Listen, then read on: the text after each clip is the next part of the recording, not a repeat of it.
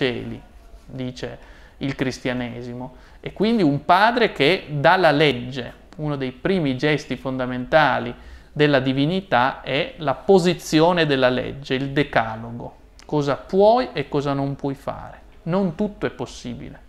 Ci sono delle leggi che chiedono di essere rispettate, che non possono essere in alcun modo trascese. La colpa originaria degli uomini sta proprio per hubris, per tracotanza, nel eh, superare, nel, eh, nel trasgredire le leggi fondamentali, nel volersi sostituire a Dio. L'inganno eh, delle parole suadenti del serpente è proprio questo, mangiare del frutto proibito per avere in cambio la divinità, per sostituirsi a Dio. Ma non ci si può sostituire a Dio proprio perché eh, c'è una conoscenza fondamentale della natura finita dell'uomo. Noi siamo finiti e cerchiamo l'infinito nella misura in cui avvertiamo la nostra finitudine.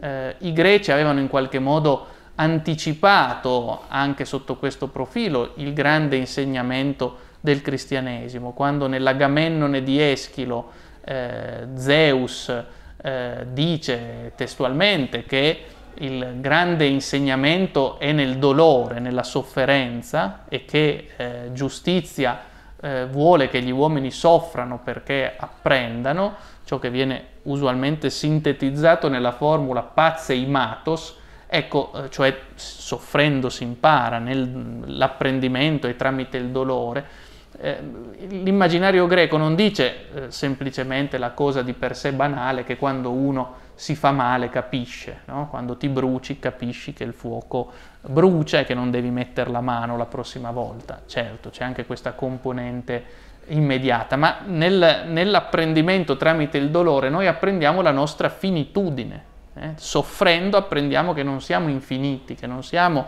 onnipotenti e che dunque dobbiamo riconoscere la distanza che quale che sia il punto sotto il cielo che occupiamo resta sempre ugualmente distante rispetto al divino. Ecco, l'idea di abbattere la legge, di produrre la deregulation, è una delle grandi cifre della società capitalistica, che deve abbattere l'idea del padre e con essa l'idea della legge. Non per caso il 68 eh, è anche la mise en forme di una società senza padri, è la società eh, che compie un grande parricidio di massa contro la figura del padre. La società senza padri è quella in cui il desiderio occupa lo spazio vacante della legge.